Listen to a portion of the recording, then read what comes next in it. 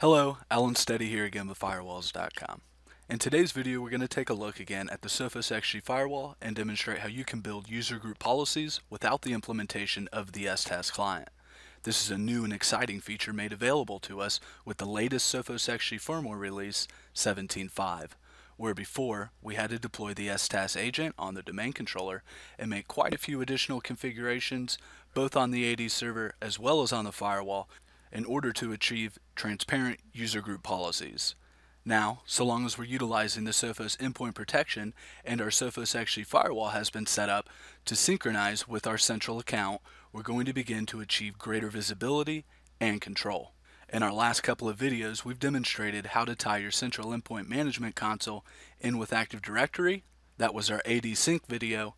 And we also demonstrated how you can deploy the Sophos endpoint protection agent using the email setup link directly from Sophos Central.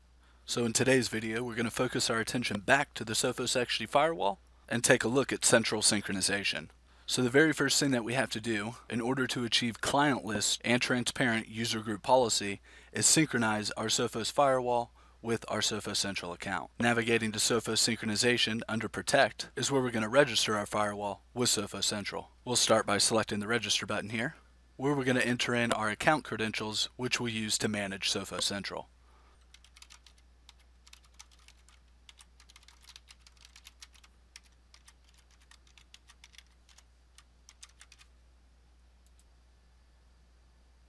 Excellent. So we can see now that our Sophos firewall has been registered with Sophos Central, and we can see that security heartbeat as well as our synchronized application control are enabled automatically for us. Now we do already have an endpoint that's on our network that we did install Sophos Central on. We'll go ahead and fire up a remote desktop connection to that endpoint and start generating some traffic.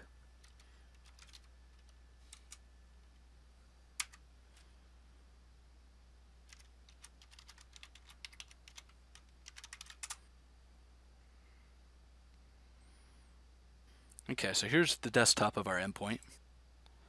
Just go ahead and launch a browser here.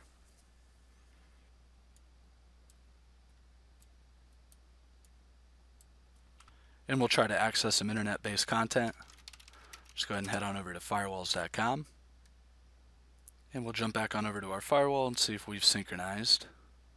Excellent. So we can see our endpoint is connected. This is also going to be reflected under our current activities and live users, where we can see that our individual users' information is now being relayed to our firewall. What that now means is that we can begin to build user group based policies based off of our connected users. Creating our user and group-based policies are simple. Just go ahead and navigate over here to protect and firewall. We'll go ahead and add a new firewall rule, our user network rule.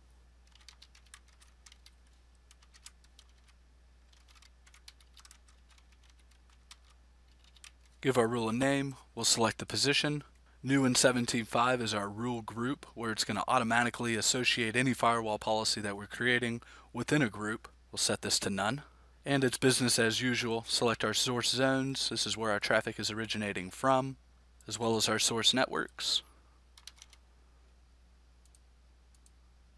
Next, we'll define where the traffic is going to or where we are permitting our users to go. In our example here, we're going to be allowing somebody from our development ops access to a server that we have hosted up in AWS. So select your destination zones as well as your destination networks. And here under identity is where we're actually going to define the who, who is allowed to access our server. And in our example here, we'll just go ahead and select our individual user, and we can apply all of our malware and content scanning.